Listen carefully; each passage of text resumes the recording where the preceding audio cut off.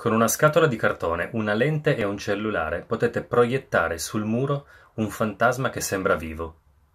Qui vedete la scena con le luci accese. Spegnendo la luce appare il fantasmino.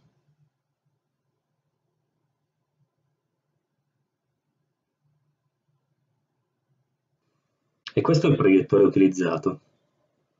Qui si mette il cellulare e se uno guarda attraverso il foro, la lente rivela al fondo della scatola la schermata del cellulare su cui sta girando il GIF animato del fantasma.